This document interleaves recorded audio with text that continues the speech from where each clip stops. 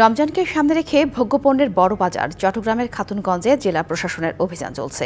এ বিষয়ে বিস্তারিত জানাতে সরাসরি যুক্ত হচ্ছেন সহকর্মী মুজিবুল হক। মুজিব অভিযানে কি অনিয়ম কোনো কিছু পাওয়া গেছে কিনা বিস্তারিত জানাবেন।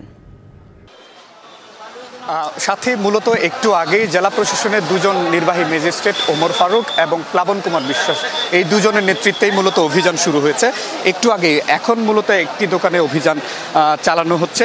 জেলা প্রশাসনের ভ্রাম্যমাণ আদালতের ম্যাজিস্ট্রেটরা যেটি বলছেন, রমজানের আগে যাতে কোনো ধরনের কারসাজি না হয় ভোগ্যপণ্য নিয়ে, সেই বিষয়টি মাথায় রেখে তারা অভিযান মূলত পরিচালনা করছেন। তো যেটি বলা হচ্ছে যে ভোগ্যপণ্যের আমদানিতে সরকারের যে আগ্রহ এবং কিছুদিন ধরে যে বলা হচ্ছিল যে ডলার সংকটের কারণে পণ্যের আমদানি কমেছে ব্যবসায়ীদের তরফ থেকে সেটি বলা হচ্ছিল।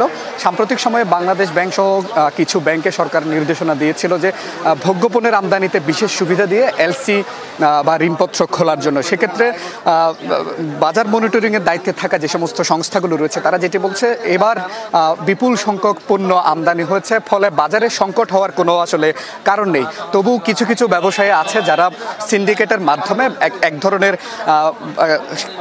মানুষকে আসলে জিম্মি করে রাখে। সেই বিষয়টি মাথায় রেখে অভিযান চালানো হচ্ছে।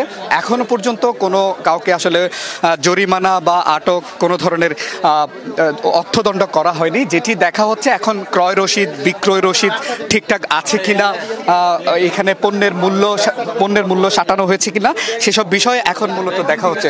তো যে বিষয়টি উল্লেখ করা দরকার সেটি হচ্ছে জেলা প্রশাসনের পক্ষ থেকে প্রায় চল্লিশটি ভ্রাম্যমান টিম করা হয়েছে যারা রমজানের আগে এবং রমজানের সময় বিভিন্ন জায়গায় বাজার তদারকিতে থাকবেন এবং বাজার অস্থিতিশীল করার জন্য যদি কেউ পায়তারা করে, তাহলে তারা যথাযথ ব্যবস্থা নেবেন। সেটি কিন্তু ভ্রাম্যমাণ আদালতের পক্ষ থেকে হুঁশিয়ারি দেওয়া হচ্ছে। তো এই ছিল আমার কাছে চট্টগ্রামের খাতুনগঞ্জে যে জেলা প্রশাসনের অভিযান চলছে, তার সবশেষ খবরাখবর। সাথী। ধন্যবাদ, মুজিব।